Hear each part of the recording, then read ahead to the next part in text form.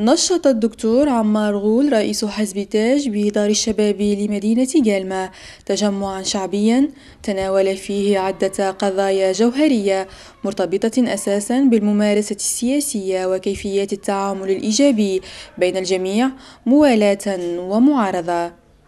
وقال إن الجزائر وطن الجميع وأمانة الأجيال القادمة.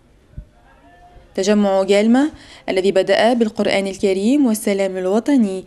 كان فرصة لرئيس حزب تاج بالتذكير أولا بحوادث الثامن من ماي ورجالات قالمة وعلى رأسهم الرئيس الراحل هواري بومدين. ربي يرحم شهداء 8 ماي 45 ويرحم كل شهداء ثورة التحرير المباركة ويرحم كل شهداء الواجب الذين وقفوا ويقفون لحد الآن لتبقى الجزائر واقفة. خواتي الفضليات إخواني الأفاضل لا يمكن هنا في قالما ما نتكلمش على القائد الفذ العظيم الراحل هواري بومدين لا يمكن. نعم لا يمكن. لا يمكن.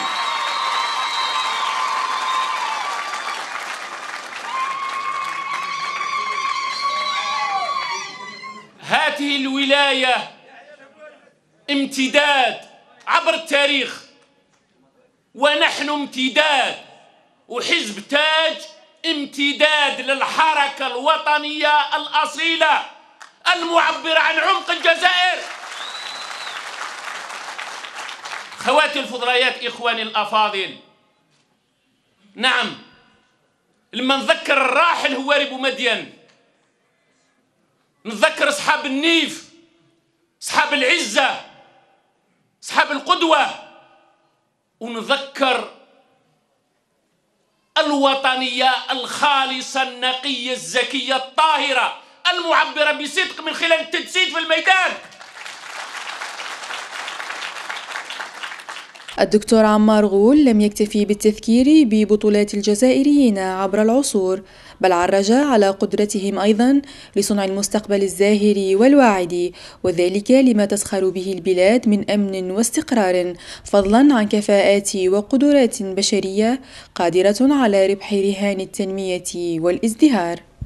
في أول زيارة في مهامي الجديدة خيرت قلمة عن قصد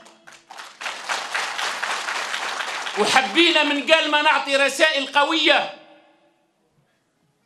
على أن الجزائر فيها خيرات والجزائر بخير والجزائر إذا استطعنا كيف أن نجمع أبناءنا وبناتنا وأن نشمر على سواعدنا أن نصنع الخير الكثير الكثير الكثير للجزائر.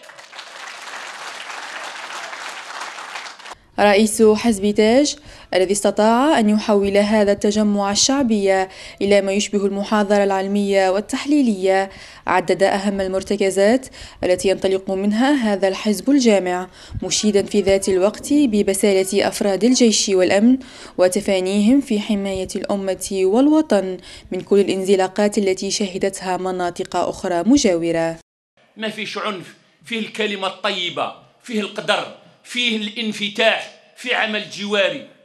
هذه الصورة اللي نحبوها في الجزائر لأننا نحن الشعب الجزائر شعب واحد واحد واحد. لا يفرقنا أحد. ما يفرقنا حتى واحد. ولن نرجع أبدا أبدا أبدا إلى سنوات الخراب والدماء والأشلاء. أبدا أبدا أبدا. خواتي الفضليات إخواني الأفاضل. وبالمناسبة كذلك أحيي بالمناسبة الجيش الوطني الشعبي سليل جيش التحرير اللي اليوم راح صاهر في كل شبر من تراب الجزائر من هذا التراب تراب الوطن المفدى. الجيش الوطني الشعبي سليل جيش التحرير اللي راح ساهر اليوم وواقف على طمأنينة واستقرار وأمن الوطن وأمن المواطن. مجهودات جبارة ممكن الكثير من الناس ما مشعرين بها ممكن الكثير من الناس ما مش حاسين بها الناس حاسة بالأمن والاستقرار والراحة والطمأنينة.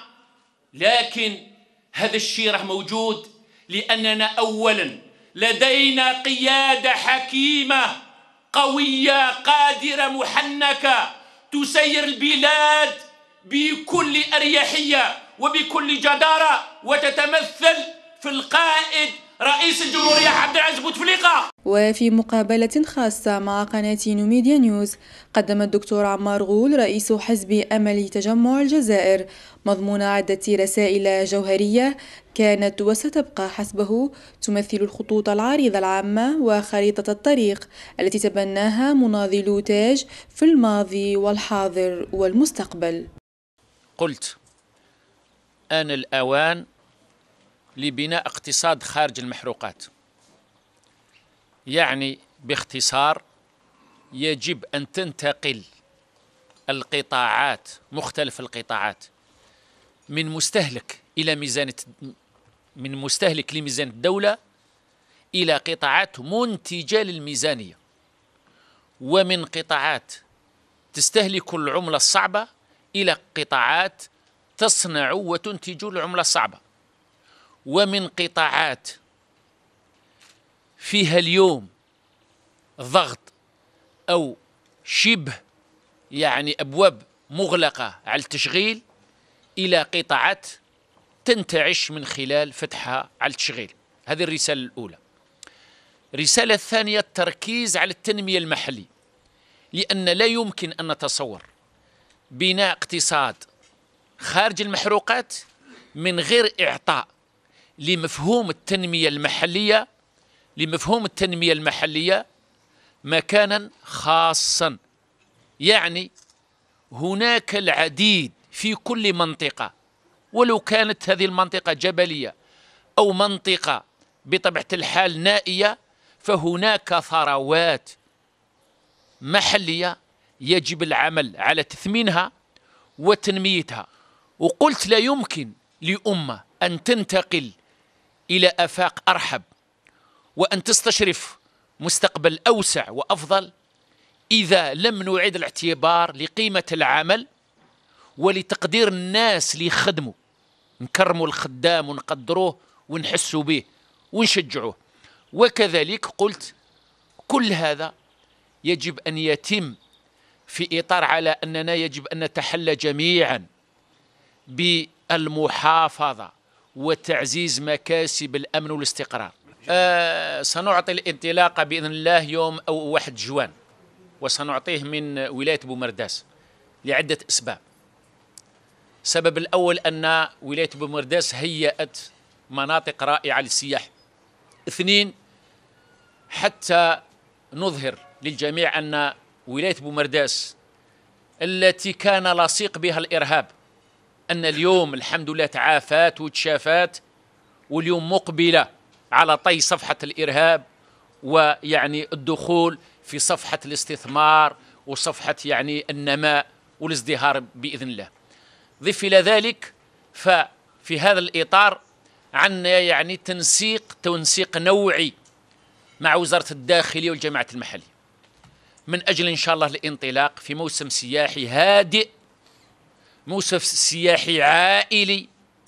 موسم سياحي وين فعلا إن شاء الله أننا نحاول باش نعطي يعني نظرة جديدة سلوك جديد إن شاء الله وانطلاقة جديدة تكون أحسن وأفضل بكثير.